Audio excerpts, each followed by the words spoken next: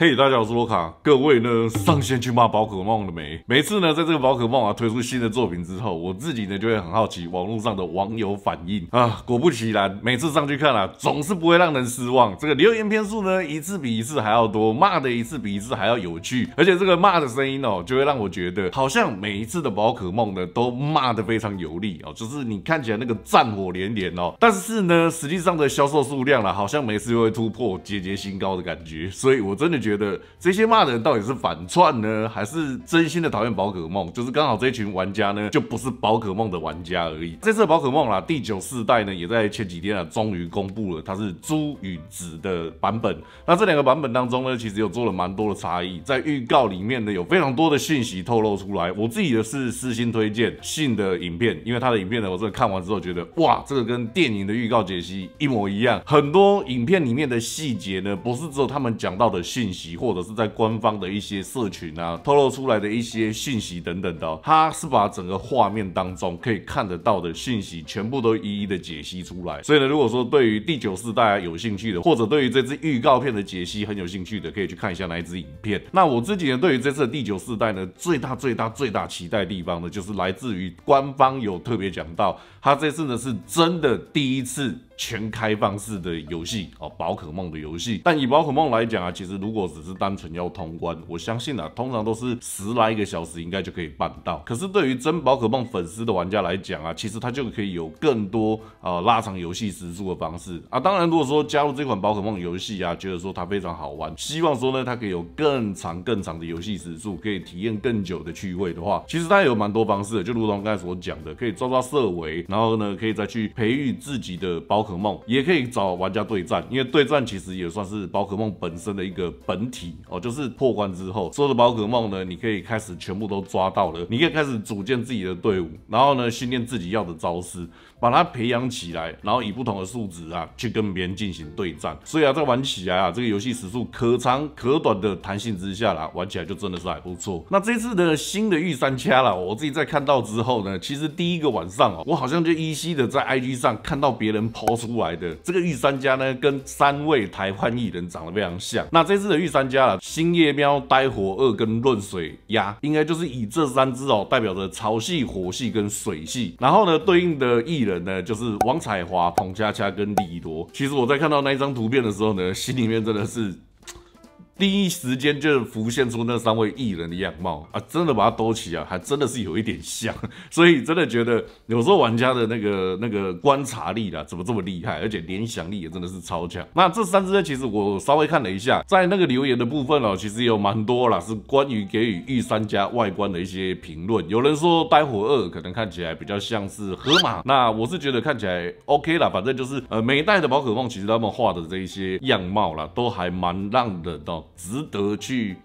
值得去，要怎么讲？值得去稍微的思考看看，他们到底是长得像什么样的动物。可是我觉得每次他们呢在进化的过程呢，变化真的都会非常大。所以以目前来讲，我应该还是会以最直觉的火系。那为什么每次都选火系啊？单纯就觉得有火比较帅而已啊。因为有火的招式，就是很多游戏啦，它只要能够发出火焰，然后刀子可以发出火焰，还是身上可以发出火焰，你就感觉特别的帅，特别的中二。就单纯是这样，没有任何理由。我也不会因为说有什么克什么什么。属性的部分啊，然后什么相克或者是哪一支威力会比较强？因为有的人可能会研究御三家哪一支会特别的好用，特别的 OP 之类的。我自己是没有在研究这一个，反正就是单纯火系就是帅啊，就是我自己的感觉啊。当然啦，要用帅跟宝可梦的外观搭配起来，好像有点。不太搭，但是呢，反正就火系嘛，就就喜欢火系，所以我到时候呢，应该还是会选择火系啊。不知道各位啦会做什么样的选择？因为这次的草系哦，是我觉得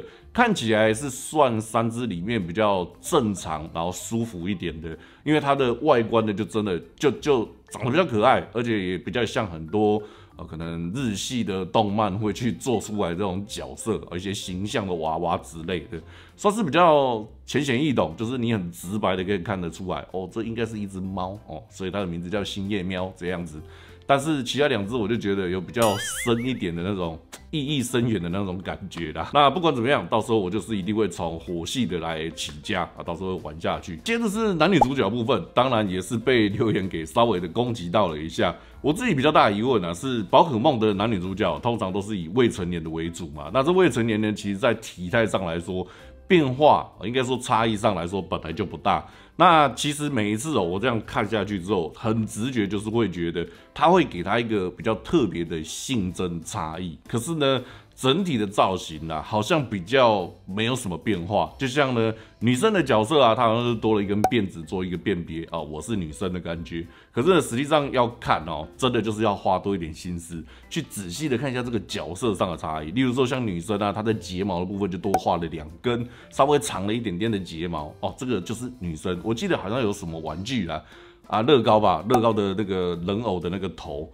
它也是会以睫毛来分辨是不是女生的头、女生的表情。那另外一个呢，就是仔细看一下，她的衣服是有腰身的，就是她这一边哦。男生跟女生的衣服是不一样的，女生这边就是有腰身下去，会比较瘦，不是只有衣服而已啦，因为她衣服其实看起来比较贴身的感觉，那整个身材呢也是比较贴身，就是比较有腰身的样子。所以呢，其实从两个重点呢，还是可以看得出来，她是女角的感觉啊。我自己的应该还是会选择男角，因为其实我玩这游戏也也没有什么特别在看这些角色了，他们角色其实也没什么变化，而且每次就是背对这样子，女生的细节就。可能就只有这样好，不然两只其实看起来，你如果把那个辫子拿掉哦，跟我说那是一个男的角色，我真的也会相信。其实从上次的阿尔宙斯啊，跟我之前玩过的一些宝可梦代数比较起来，它就有一个蛮大的突破跟成长的。所以这一次的第九世代哦，我自己是非常的期待。现在游戏可能玩久了，真的被养惯了，你可能会很喜欢开放世界那种自由探索的那种乐趣。自由探索，有些玩家曾经有跟我讲过，他们会觉得比较有点漫无目的。没有方向，可是啊，其实，在阿尔宙斯玩的过程当中呢，他还是会告诉我们，基本上要去哪个区域去找人哦，他还是会特别讲，只是说呢，在这个过程当中，我们并不是被硬性规定，你就只能够在过去的这条路上的过程当中去做探索，而是说呢，今天可能主线出来了，假设呢，主线是要从台北到台中去找某一个 NPC，然后接任务或者交付任务，就可以推进主线的剧情。可是，在过程当中，我们并不是只有说台北。一路从台中这样下去的过程，我们可以去探索，而是说呢，我们可以，哎，我可能可以往东部去探索，我可能可以往中部去探索，甚至在我直接路过台中哦，跑到南部去探索也可以。它就是会给你一个比较自由的状态，只不过它还是会给你一个目标在。那我觉得这样子的开放式游戏又半带有目标的样子的，玩起来还是非常不错。就是你要跟着主线跑，你想跑得快可以，就是一直跟着主线不断的玩下去。那如果说呢，你今天是希望可以慢慢的品尝，然后慢慢的沉浸到它整个游戏带给你的世界观。你就可以花更多时间去慢慢探索它各个角落。像这样子的游戏呢，它通常都会在很多地方做出一些细节，可能藏有一些宝物，可能藏有一些素材可以采集，可能藏有一些奇奇怪怪的宝可梦，就在一些比较特别的边边角角。这样子呢，都是在游戏当中啦，可以取得乐趣的不同方式。所以我自己是会蛮期待第九世代的啊，毕竟宝可梦真的是从阿尔宙斯开始啊。完全擦亮我的眼睛，哇，这个完全不同的宝可梦四代，再玩起来真的是会非常期待它。好啦，今天这支影片呢就跟大家分享到这边的，喜欢我的影片的记得在下面点下并且分享，也别忘记订阅 YouTube 频道。我是洛卡，我们就下次影片见啦，拜。